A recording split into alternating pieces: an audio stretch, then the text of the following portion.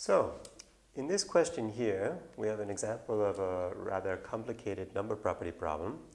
It says, what is the smallest integer that 10,584 must be multiplied by so the resulting number is a perfect cube? Now, before I plunge into uh, an explanation of how to solve this problem, I think maybe a little bit of vocabulary might be useful. So first of all, this idea, what is a perfect cube, is somewhat important.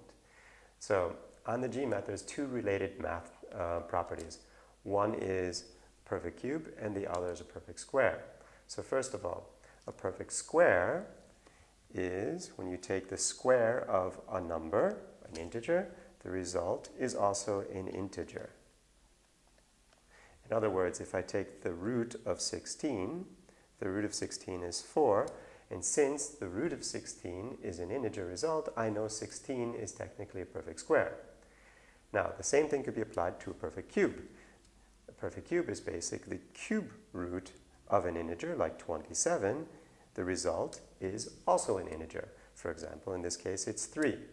So, um, a kind of a trick of how to look at if something is a perfect square or perfect, uh, perfect cube is to think about the prime factorization. For example, with 16, the root of 16 is equivalent to the root of 2 times 2 times 2 times 2 times 2, which is the idea that um, you could use a, a trick, which is 2 on the inside is the equivalent of 1 on the outside. So in this case, I see two twos on the inside, 1, 2 on the outside.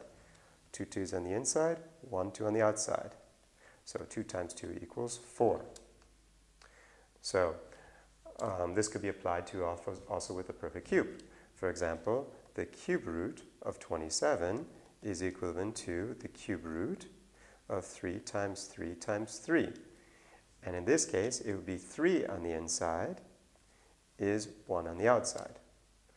And this could be applied to the fourth root of something, the fifth root of something, and so on. For example, if I had the sixth root of something, it would be 6 on the inside is 1 on the outside. So, Keep that in mind. That should help us with this particular question.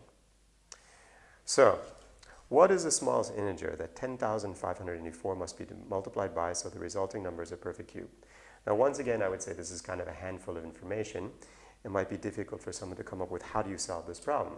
But one thing I've noticed from experience is when you're working with number property problems and you see a big number like 10,584, the easiest thing to do is just break it down to its prime factorization and then see if you can understand the question better. Usually everything falls into its place once you're looking at the prime factors.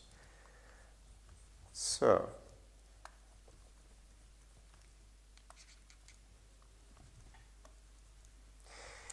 so in this case, um, I have 10,584. And if I'm going to break this down to its prime factorization, what I want to do is take big chunks out of the number. For example, in this case, I can see this number is clearly divisible by 9. How do I know it's divisible by 9 is if you take the sum of the digits, the sum of the digits is a multiple of 9, so therefore the whole thing is a multiple of 9. So let's start out with, as I said, divided by 9. 9 goes into 10 one time. 1 times 9 is 9. 1 left over. Bring down the 5. 9 goes into 15 one time. 1 times 9 is 9. The difference is 6. Bring down the 8. 9 goes into 68 7 times. 7 times 9 is 63. Difference is 5. Bring down the 4. 9 goes into 54 6 times. So I'm left with 1,176 times 9. So at that point, I'm going to divide, I'm going to break down 1,176. 1176. Once again, I'm going to try to take a big chunk out of it. First of all, can I divide it by 9? No. Can I divide it by 8? Yes. The basic rule for divisibility by 8 is very simple. You look at the last three digits. If the last three digits is a multiple of um, 8, the whole thing is a multiple of 8. And the trick for that is basically thinking about blocks of 200. I know that if I count by 8 up to infinity, there we go, 8, 16. As soon as I get to 200, it just starts all over again, 208, 216, and so on. So 1,176 is 24 away from the next block of 200, which is 1,200. So since the difference is 24, which is a multiple of 8, the whole thing must be a multiple of 8. So I divide this by 8. So 8 goes into 11 one time. 1 times 8 is 8. So 3 left over, bring down the 7. 4 times 8 is 32.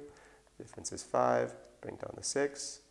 Um, 8 goes into 56 seven times. So I have 8 times 147. When I look at 147, the first thing that pops into my mind is this could definitely be divided by 3. Once again, with divided by 3, you look at the sum of the digits, like the 9. So 147 can be divided by 3.